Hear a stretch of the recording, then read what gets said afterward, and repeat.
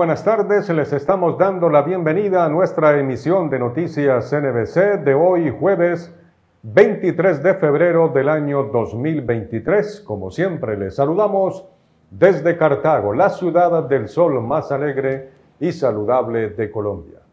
Vamos con nuestros titulares.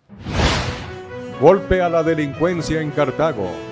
Fueron capturados 13 presuntos integrantes de la nueva generación, quienes serían responsables de varios homicidios ocurridos en Cartago y Puerto Caldas. Secretario de Planeación rindió informe de gestión al Consejo. En Alcalá fue asesinado ayer un hombre, mientras que en la Unión otro hombre resultó herido con arma de fuego. Renovar la matrícula mercantil es un deber de todo comerciante y empresario. El plazo vence el 31 de marzo. Superado daño en el acueducto Sara Brut, que mantuvo por más de 36 horas sin servicio a seis municipios del norte del valle. Ampliamos las noticias.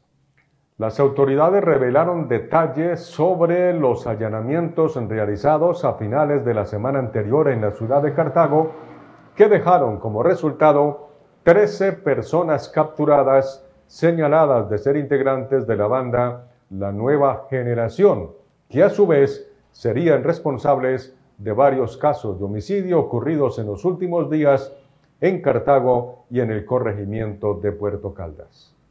Un duro golpe a la delincuencia en el norte del valle produjeron las autoridades cuando en desarrollo de 13 diligencias de registro y allanamiento realizadas en Cartago y Anserma Nuevo, al igual que en Puerto Caldas, fueron capturados 13 presuntos integrantes del grupo delictivo Nueva Generación que delinque en el norte del valle se ha logrado un recaudo probatorio importante que permitió establecer que esta estructura se dedicaba a la comercialización de sustancias estupefacientes y al homicidio en la modalidad de sicariato.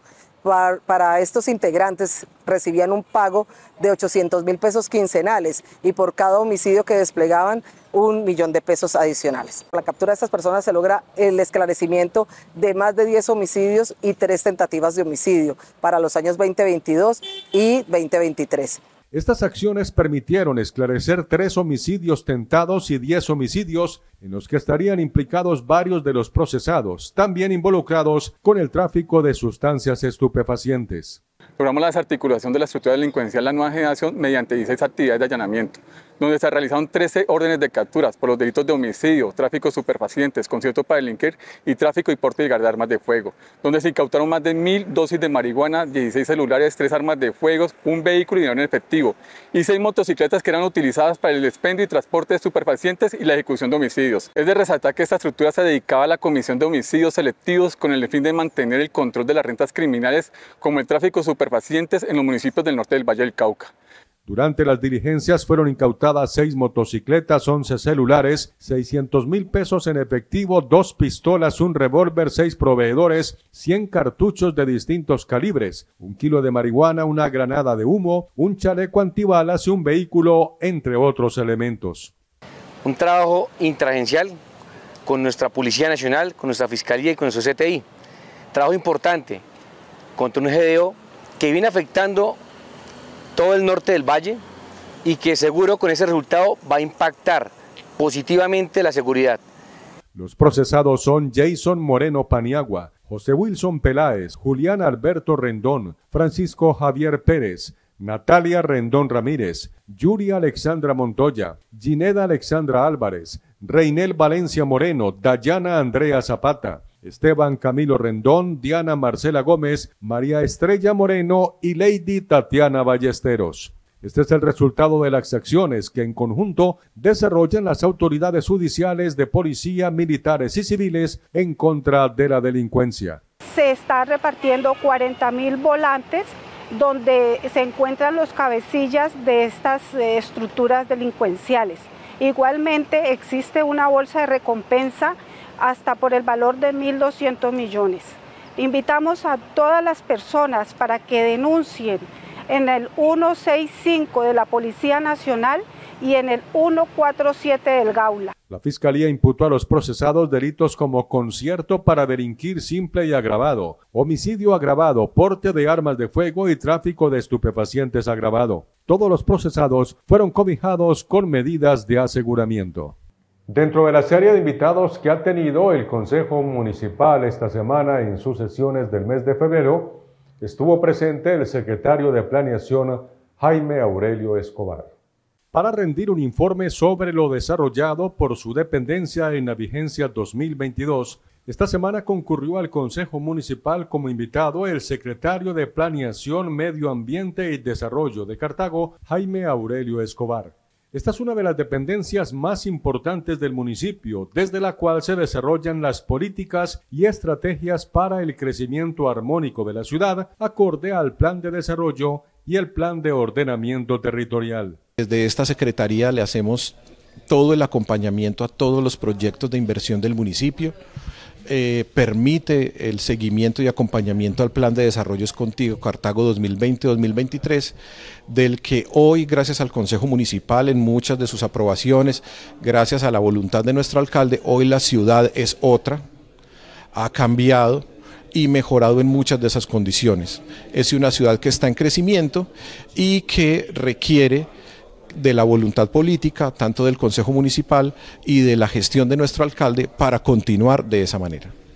Su informe se basó principalmente en resolver las inquietudes de la comunidad frente a la nueva encuesta del CISBEN, ya que la mayor queja han sido los altos puntajes, producto de una metodología que no se ajusta a la realidad de muchos hogares. Eh, siempre me baso en el, en el, ejemplo que pone nuestro alcalde Víctor Álvarez al respecto de que la encuesta pregunta si usted tiene nevera, pero no le pregunta si la nevera está llena o no, o si está apagada o no. ¿Listo?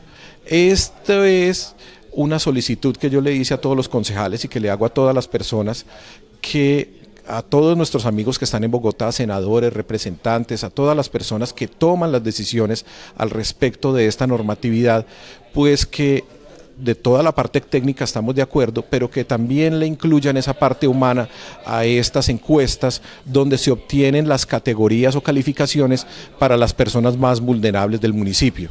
Recalcó la importancia de que todos los cartagüeños tengan actualizada la encuesta del CISBEN, ya que esta es la base para el otorgamiento por parte del Gobierno Nacional de Auxilios para Vivienda y otros programas sociales todos los municipios del país luego de que el gobierno anunciara que para obtener los subsidios de vivienda de interés prioritario, de interés social, tanto en la zona rural como en la zona urbana, debían tener, debían ser o pertenecer al CISBEN.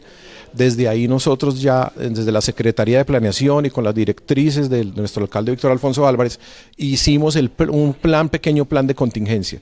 Al ver que ese plan se nos estaba quedando corto, inmediatamente ya se montó otro para el mes de marzo, para poder cumplir con ese requisito y que muchas familias cartagüeñas puedan acceder a esos subsidios y cumplir el sueño de tener vivienda propia, de interés social, de interés prioritario, tanto en la zona urbana como rural. Y estas son otras importantes noticias NBC que son actualidad a esta hora en Cartago y el norte del valle. Ayer en el municipio de Alcalá fue asesinado un hombre de 31 años identificado como Gustavo Adolfo González Restrepo. Según el reporte de las autoridades, hacia las 11 y 30 de la mañana dos sujetos armados llegaron en motocicleta hasta una calle del barrio Las Delicias y dispararon en varias oportunidades contra González Restrepo, quien falleció en el acto tras recibir múltiples impactos en la cabeza. Según las autoridades, esta persona registraba anotaciones por el delito de tráfico, fabricación porte de estupefacientes en el año 2022. En el municipio de La Unión resultó lesionado con arma de fuego un hombre de 26 años al ser atacado en el barrio Bellavista. El sujeto recibió un impacto en el mentón, lo que obligó su remisión a una clínica de la ciudad de Tuluá, donde se recupera. Ayer quedó superado el daño que se produjo en la tubería de conducción del embalse Sara Brut en el municipio de Bolívar, lo que dejó sin servicio de acueducto a los municipios de Obando, Zarzal y Roldanillo por más de 24 horas. El daño provocado por las lluvias se produjo el martes en la mañana en la vía que comunica la cabecera municipal de Bolívar con el corregimiento de la primavera. Esta situación se presentó a causa de una falla geológica que generó un hundimiento y un rompimiento de la tubería de aducción de 24 pulgadas, donde pueden observar y que en estos momentos ya se ha solucionado esa situación, solamente nos, nos falta solucionar una porosidad que quedó en la tubería para entrar a establecer el servicio 7 por 24 en estas municipalidades.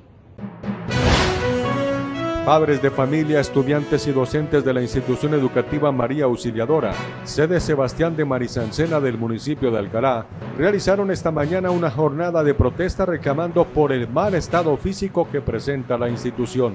De acuerdo con voceros de los padres de familia, mal estado de los techos hace que cada vez que llueve los salones se inunden, impidiendo el desarrollo de las clases y arriesgando a que por la misma humedad los estudiantes se enfermen. Indican que esta situación se viene repitiendo desde el año anterior y a pesar de las quejas no ha sido posible que el municipio o la Secretaría Departamental de Educación les den una solución. Donde podemos ver cómo alumnos en horas de la mañana al llegar a clases encuentran su salón totalmente inundado por un, vendaval que hubo en el día anterior. Los niños tuvieron que terminar de secar el salón y pues inmediatamente no pueden ingresar al aula de clase porque las sillas y todo está totalmente mojado. No es el único salón en esta sede que corre con este peligro. Se pueden ver maderas húmedas, también podemos observar que, que debajo de algunos puestos todavía hay agua acumulada en la forma en la que se entra tan masivamente el agua al salón. Ahí se puede observar que todavía tienen agua algunos, algunos puestos. ¿Qué solución vamos a tomar frente, frente a estos hechos que no son solamente de ahora, sino que vienen pasando desde el año pasado y nadie nos da solución? Es algo repetitivo donde nadie nos da la cara ni nos da solución el colegio se nos está cayendo, este salón no es el único perjudicado, hay otro salón donde la pared le corre como si tuviera fuente propia, le corre el agua Gobierno Municipal de Cartago, a través de la Secretaría de Salud, informó que de acuerdo con una circular expedida por la Secretaría de Salud Departamental, se solicita que todas las clínicas veterinarias y similares, almacenes veterinarios y profesionales independientes de la medicina animal localizados en Cartago realicen el reporte mensual obligatorio a la Secretaría Municipal de todo animal que presente sintomatología sospechosa para rabia u otra zoonosis. La notificación que es de carácter obligatorio deberá realizarse en la línea celular 315-503-0378 al mismo tiempo, se solicita el reporte de acciones de vigilancia en zoonosis e inmunización contra el virus de la rabia realizadas en animales de compañía como perros y gatos. El reporte debe hacerse al correo electrónico saludpublica.cartago.gov.co. A propósito, la Secretaría de Salud Municipal llevará a cabo este viernes una jornada de vacunación de perros y gatos contra la rabia, la cual se realizará desde las 8 de la mañana en las instalaciones de la dependencia calle 11 con carrera Primera Norte. Las mascotas a vacunar deben tener más de tres meses de edad.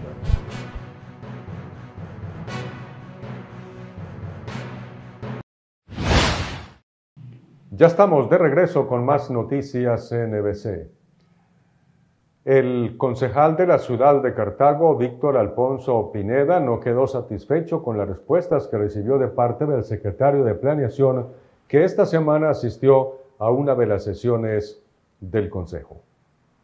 La exposición del secretario de Planeación en el Consejo Municipal el pasado martes no dejó satisfecho al edil Víctor Alfonso Pineda, quien desde su posesión como integrante de la corporación ha venido haciendo una serie de denuncias sobre presuntas irregularidades que se habrían presentado con la expedición de licencias de construcción durante el tiempo que esta labor fue realizada por la dependencia de planeación. El concejal del Partido Liberal, Víctor Pineda, esperaba respuestas más concretas por parte del funcionario. Desafortunadamente no recibimos la información a tiempo, no encontramos en el informe presentado un informe vasto, amplio y suficiente donde se pudiera determinar toda la gestión que se ha hecho. Y pues lo que nosotros hemos venido mencionando acá al interior del Consejo, eh, temas de urbanizaciones por fuera del perímetro urbano, eh, sin el cumplimiento del lleno de requisitos, eh, no se cumplen con los planes parciales y todo eso lo que genera es que desencadena problemáticas a esos sectores que están contiguos a, a esos desarrollos urbanísticos.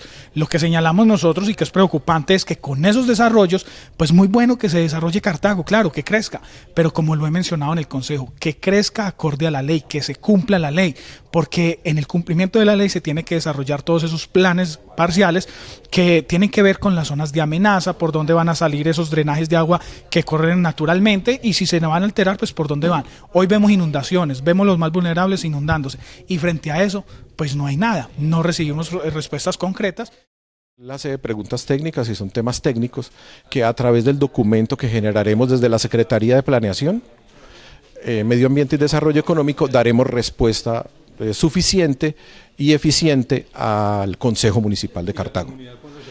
Y la comunidad, pues al ser ya del, de conocimiento del honorable Consejo Municipal, que son los representantes de la comunidad, también podrán, eh, digamos, informarle a la comunidad o nosotros podemos entregarle, no sé si a los medios de comunicación, también las respuestas. Pero la respuesta en principio va hacia el Consejo Municipal de la Ciudad de Cartago. De acuerdo con el concejal, antes de la llegada de la nueva curadora urbana, hubo actuaciones por parte de la Secretaría de Planeación que dejaron muchas dudas. ¿Qué nos compete? Hacer las denuncias respectivas, como la que tenemos frente a la resolución 470, que en tan solo dos días se otorga una resolución que en qué momento iban a darle trámite a todos los requisitos que señala el decreto ley 1077 y que en menos de 48 horas se otorga la licencia. ¿En qué momento fueron a confirmar inclusive las coordenadas geodésicas? Entonces es prácticamente todo eso articulado, hacerle de seguimiento y actuar como nos encomienda el pueblo y la ley. Nosotros somos un equipo, la Secretaría de Planeación es un equipo de personas. Nosotros siempre hacemos todas las cosas que ustedes pueden ver en la Secretaría de Planeación con el mayor profesionalismo y respeto hacia la normatividad. Pueden generarse dudas, por supuesto. Habían muchas acusaciones también el año pasado, ¿se acuerda usted al respecto del CISBEN? hemos ido dando las claridades y hoy la gente ya entiende cuáles son los procesos y los procedimientos, cómo se hacen las cosas. Igualmente para todo el proceso de licenciamiento que se tuvo hasta el año pasado, también eh, la Secretaría y en cabeza mía se darán las respuestas pertinentes y necesarias para darle tranquilidad a la ciudad de Cartago y para que todos los ciudadanos vean que el desarrollo de Cartago se hace es entre todos. Como se ha informado, ante los organismos nacionales hace curso una demanda por las actuaciones de la dependencia, la cual debe ser resuelta en los próximos días. Eh, llegó el requerimiento el 22 de diciembre a la dependencia de planeación, se le pasó el tiempo y no respondió. Eh, en ese sentido, la Secretaría de la Transparencia volvió y le ofició a planeación municipal, haciéndole referencia que tenía que ver con responsabilidades judiciales en el caso de que no respondan y estamos a la espera. Tienen un término nuevamente para que respondan, tenemos copia de ese documento y estamos esperando que, pues, que eh, aporten las pruebas necesarias. La Cámara de Comercio de la ciudad de Cartago ha advertido a los empresarios y comerciantes de la región que el próximo 31 de marzo vence el plazo para la renovación de la matrícula mercantil. Matricularse en el registro mercantil y realizar su renovación anualmente, así como inscribir en el registro mercantil todos los actos, libros y documentos, son deberes de todo comerciante con los cuales se garantiza la legalidad de su actividad. Por ley, la renovación de la matrícula mercantil, el registro de entidades sin ánimo de lucro, el registro nacional de turismo y el registro único de entidades operadoras de libranza debe realizarse durante los tres primeros meses del año, por lo que desde la Cámara de Comercio de Cartago se está invitando a los comerciantes a realizar este trámite antes del 31 de marzo. Estamos invitando a todos nuestros empresarios, a todas nuestras entidades sin ánimo de lucro, para que cumplan con este deber antes del 31 de marzo, desde, desde enero ya empezaron a renovar y en febrero esperamos muchas personas que, que cumplan con este deber legal para que no dejen todo para el último día. Entonces estamos invitándolos a todos Eh, igualmente, para evitarse de pronto congestiones de filas y todo eso, también lo pueden hacer de manera virtual a través de nuestra página www.camaracartago.org. También nos pueden consultar en el WhatsApp Business, se pueden comunicar con nosotros para liquidarles el valor a pagar.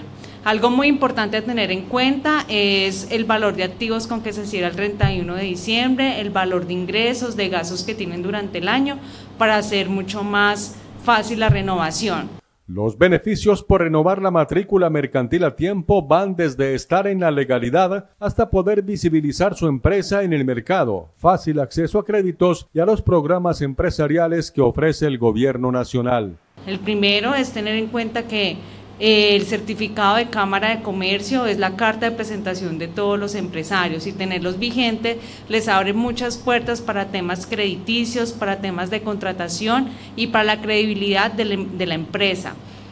También tener en cuenta que eh, las personas que se formalicen y renueven antes del 31 de marzo pueden acceder a, las a la plataforma del RUES, cuyo fin es formar alianzas de saber eh, quién es mi competencia, en dónde puedo formar mi negocio.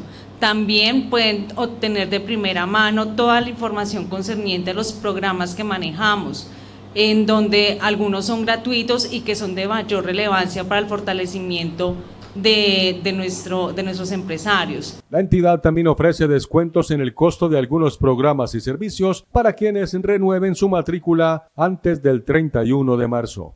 También tener en cuenta que las personas que se matriculen y que renueven antes del 31 de marzo tienen un 10% de descuento en seminarios, en el alquiler de auditorios y también tienen un 10% en las solicitudes de audiencia, de descuento en las audiencias de conciliación.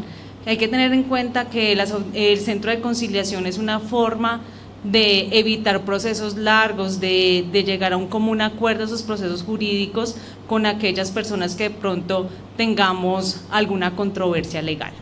Continuamos ahora con nuestra sección, La gobernadora en el norte.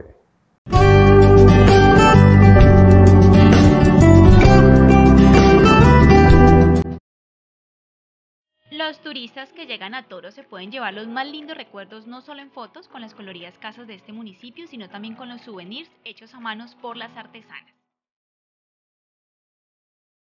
Para mí el arte es cultura, desarrollo y emprendimiento.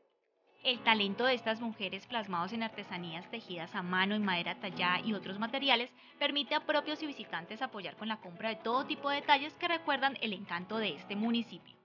La mayor prioridad es tener los souvenirs que sean económicos, pero que todo sea relacionado al municipio de Toro. Yo tengo unas muestras de unos toritos que yo hago y hay otras señoras que están haciendo también llaveros en forma de uvas, porque nosotros también somos productores de uvas. También la flor del paraíso, que es una insignia nuestra. Y algunas cosas de bordado, estamos trabajándole también sobre el mastodonte, que pues un, algo que, un hallazgo que hicieron como en el año 1983. Melba Ospina es una de las artesanas que hace parte de la Ruta del Encanto, proyecto urbanismo social liderado por Gestión Social y la Secretaría de Mujer que embellece 12 municipios del Valle, entre ellos Toro, a través de pinturas de fachadas, murales coloridos y estructuras interactivas. Realmente me pareció extraordinario porque creo que en, este, en esta administración han tenido muy en cuenta a la mujer y sobre todo en emprendimientos, que no dependamos de, que tengamos una, una, base alterna para demostrar que nosotros somos capaces de salir adelante con base a lo que la gobernación viene haciendo en todos los municipios, que me parece maravilloso, porque yo creo que ya pasearte por el valle es algo sensacional. Y es que los toresanos están encantados con la transformación que ha tenido su territorio y agradecen esta apuesta de la gobernación del valle. Pareció muy bonito, primera vez que se ve algo así, primera vez hacer algo así como tan colorido. Sean cordialmente invitados acá al municipio de Toro para que disfruten de, cómo quedó esto bonito, se lleven una experiencia bonita. Así que la invitación es a darse una rodadita por Toro y cada uno de los municipios de la Ruta del Encanto.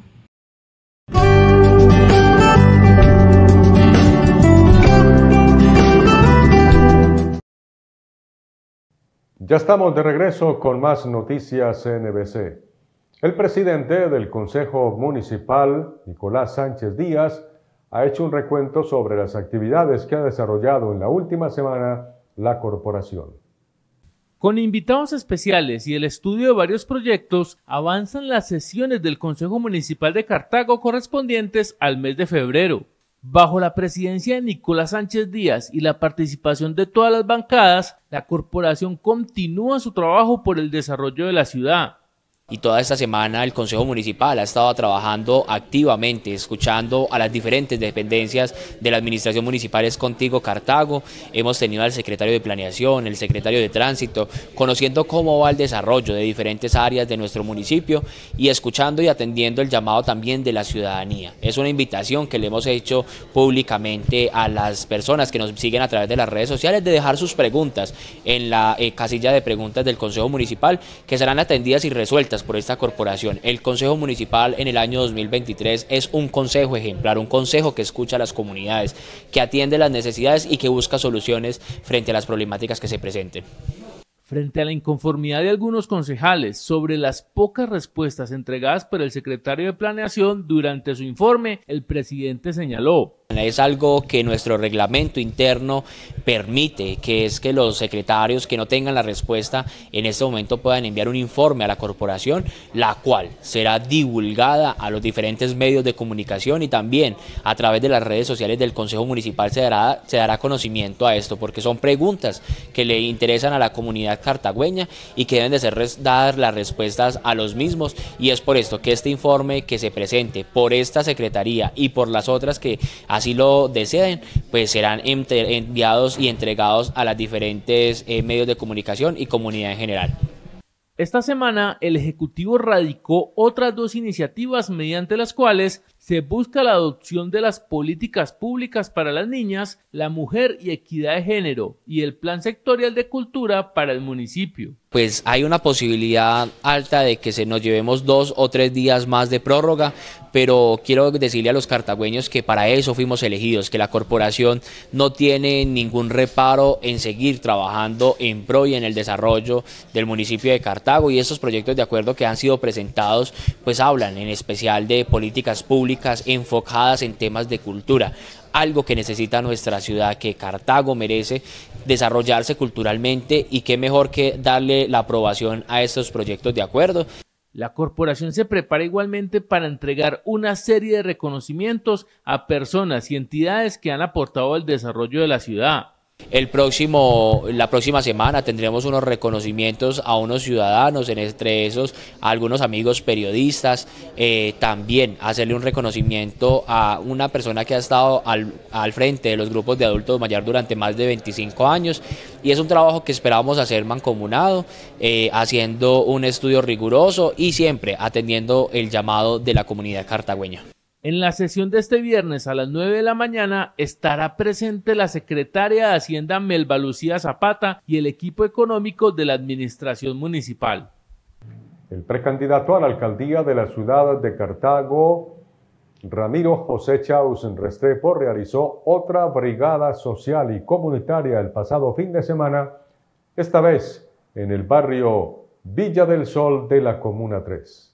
Con una gran asistencia por parte de los habitantes de la Comuna 3, se realizó el pasado fin de semana en el Polideportivo del barrio Villa del Sol la segunda brigada social y comunitaria programada por el movimiento para volver a creer, que orienta al actual diputado del Valle y precandidato a la alcaldía de Cartago, Ramiro José Chaus es una brigada social y comunitaria que tiene un objetivo y es integrarnos con la comunidad, que la comunidad tenga una oportunidad de poder compartir en familia, de que los niños se diviertan, de que puedan recibir asesorías jurídicas, porque entre ellas, por ejemplo, tenemos un equipo de profesionales en derecho, otros en psicología, que están haciendo un trabajo para escuchar a las personas. Ustedes saben que hay muchos ciudadanos que tienen ciertas inquietudes y a veces se les dificulta el acceso a estos profesionales y hoy pues estamos con este gran equipo eh, de profesionales para donar su conocimiento y poder escuchar a la gente. Niños y adultos disfrutaron también de actividades recreativas como cine y bingo familiar. Los niños están disfrutando de una tarde recreativa donde tenemos eh, profesionales en recreación, tenemos también unas charlas para fortalecer sus proyectos de vida y finalizamos también con una película que tiene un muy bonito mensaje que les sirve para la construcción de sus vidas. También tenemos a los adultos mayores que disfrutan de, de este bingo que tanto les gusta, lo disfrutan mucho, es un bingo que integra a las familias, también a los jóvenes y de esta manera buscamos eh, hacer una, una jornada muy integral, hacemos una jornada muy para la comunidad, muy para la gente, que nos permita siempre conectarnos con ellos. Necesitábamos de un espacio donde la gente pudiera disfrutar de un sano esparcimiento, donde la gente se distrajera, pudiera compartir un poco con la familia, con los amigos y pudiéramos recordar esas bases cuando se trabajaba, se creía, se confiaba en la comunidad. Hoy estamos haciendo eso, que la misma comunidad confíe en ellos mismos, que puedan disfrutar de ese sano esparcimiento y puedan compartir con sus seres queridos. Las brigadas sociales y los diferentes encuentros que vienen sosteniendo el precandidato con la comunidad sirven además para conocer sus necesidades. Y todo esto nos sirve para escucharlos, para prestarles atención, para oírlos, para eh, conocer esa visión que tienen de la ciudad y, poder eh, nutrirnos de esa información para seguir fortaleciendo nuestra visión de desarrollo. Continuamos con más noticias NBC para contarles sobre la clausura de un nuevo curso desarrollado dentro de las jornadas de capacitación que realizan la Corporación Conciencia Política y Social CEPIS y la agrupación Albertistas en Acción. Albertistas en Acción y la Corporación CEPIS continúan la serie de capacitaciones dirigidas a la comunidad cartagüeña, incentivándolos a iniciar su propio emprendimiento. Es así como se acaba de clausurar el segundo nivel de curso de panadería, en el cual adultos mayores, hombres y mujeres aprendieron a elaborar diferentes productos. El cual fue un éxito total. Queremos darle las gracias a nuestro jefe y amigo Germán González, a nuestro jefe y amigo Diego Quintero Herrera, el directorio albertista de Nación, y a CEPIS, los cuales han sido los promotores de estos cursos. Gracias a ellos eh, ha tenido muy buena acogida este curso de panadería. Durante tres meses los asistentes recibieron los suficientes conocimientos en el campo de la panadería, lo que les permite ahora iniciar su propio negocio y mejorar la economía de su hogar. Estamos clausurando el segundo nivel de panadería aquí en la institución sociopolítico político social CEPIS, eh, en el cual agradecemos a, a Germán González, a a la doctora Yané, al, doctor, al profesor Eduardo por habernos compartido su conocimiento y, y, habernos enseñado lo que es panadería, repostería.